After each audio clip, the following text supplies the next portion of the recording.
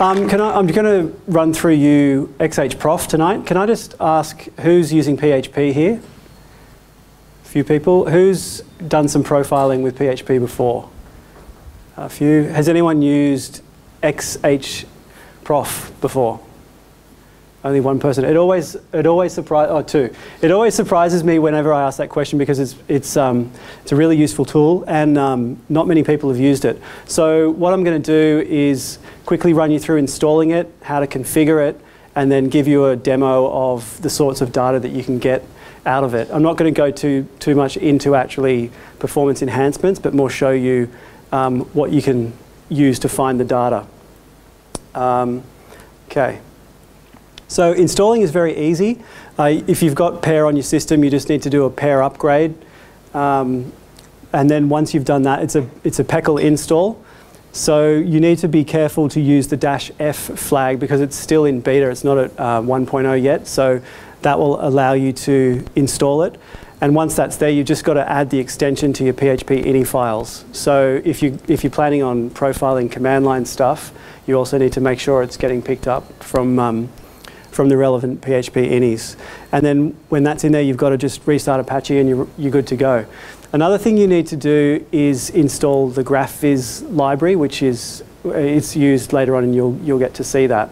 Um, I use Linux. It's very easy to install that stuff. Probably is on, on a Mac as well. Not sure about Windows, if, if anyone is doing that.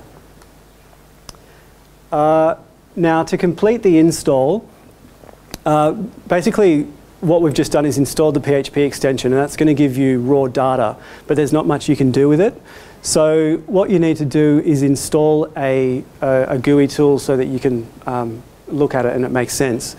So um, Facebook's put their, their code up on GitHub, you can clone it down. So, and then once you've got it down, you've got basically got to create a database and create some tables. You can, if if you know what you're doing, you can just look at the code and that's pretty straightforward. It's, it's, um, you can use whatever you want, Postgres, MySQL, um, whatever. Um, it's not a problem. And then you've got to go through and adjust the, the config in there. They provide you a sample, so basically just save one as um, config.php, put in your, your database credentials, um, and you're good to go. So what we've done so far, installed the, the PHP modules, um, set up the, the website, so we're going to look at the, the profiling data. And so all you need to do is just tell your PHP scripts to start, um, start collecting the data. Um, it's pretty straightforward. There's just there's two PHP method calls you need, xhprof enable and xhprof disable. There's not much to it. So if when you start with the enable, you basically pass in some flags on what you want to collect. So things like CPU, um, wall time, all those things you just pass in and it configures it. Um, so just say you've got a website and you want to want to profile it. Um, usually what you want to do is just leave it on and, and set and forget sort of style. Um, XHProf's lightweight enough so that you can run it in production, you can have it on your dev servers, localhost, you, you're not really going to notice the difference. So it's, it's safe enough to just leave on and collect the data. The easiest way to do it um, is either site-wide, like across the whole system in your, P, your global PHP ini, or um, if you've got several sites and you're only interested in some of them, do it in your htaccess or your Nginx config or whatever. And you, and you do that usually by, by um, setting the auto prepend file and auto append file. And uh, basically what that does is just append some PHP code to the start and the footer, like the end of every execution. So you can put whatever you want in those files, and I'll, I'll show you um, an example in a second. Here, uh, can you see that? It's probably a little bit small.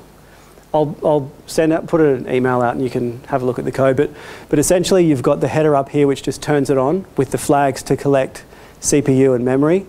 And in the footer there, um, what it's doing is including the files that you've cloned down previously. So it's, it's the libraries that, that Facebook put, have put out. And then what you do is register a shutdown function. So when your script's finished executing, it will, it will call the xhprof disable, which, which gets you the, um, the profile data and then um, stores it to the database. Um, so now we've, we're filling up our databases, we're using, using the system, now it comes time to interpreting it. Um, this GUI tool was released in 2009, so it, it, looks dated. If you look at the code, you'll notice that it's pretty horrible. Uh, but the thing is, it works really well. Um, there's a few, other, few others that are worth noting. Um, XHProfIO is quite new. It's, it's using kind of modern techniques and, and looks a lot better. But I don't think it hasn't reached feature parity yet. And XHGUI is, is an active project um, which stores it not in MySQL but in Mongo. So you can actually query the data in a lot more uh, effective ways. But all of these are available on GitHub. Uh, so now I'll give you a quick demo um, ho to hopefully inspire you to install this extension. So what we can do, I'll just bring this across. Uh, you run a tool, uh, has anyone heard of Siege? Uh, it's, it's like a command line tool. You can basically set up a text file of URLs doing gets or posts or whatever you want and replay that against your server. So you can, you can basically just throw sort of artificial traffic at it. So you can kick kick something like that off and it's um, concurrently 25 users um, cycling through this text file of URL. So it's essentially creating artificial traffic on your site. Um, so that you can set it to run for however long you want. It's, it's a pretty good tool. Uh, download it, install it. Um, and now I'll show you what that's actually done. Uh, if I can find my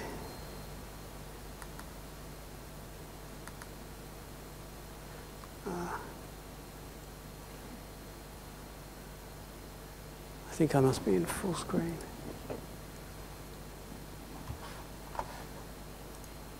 So here is, like I've set up a virtual host which, which maps to the, direct, the code that I've just cloned. It's straightforward enough. But here you can see, um, this is the XHGUI. Across the top you can filter um, which domains you're interested in. So if you're doing it across your whole you know, fleet of sites, you can, you can narrow into it. Um, you've got the hardest hit today, the past week, most expensive, most RAM, longest running. So pretty much all the things you're interested in, you can just click on, um, okay, most RAM today, for example. And here you can see um, these are the URLs um, by peak memory usage. You can sort all that kind of stuff. Um, I mean, there's not really time to go into the details here. I really want to just show you what, what you can do. So here, what it's done is plotted out um, the, those metrics over time. So as you're developing, you can, you can basically see if your changes are um, making an impact or not. Um, and probably down here you can see all the individual runs and clicking, click into one and you get this nice summary to say, okay, um, you know, most of the time within other, you can't really classify it, it's kind of general. Um, and, it, and it breaks it all down hopefully you install it and you can have a look at this in more detail.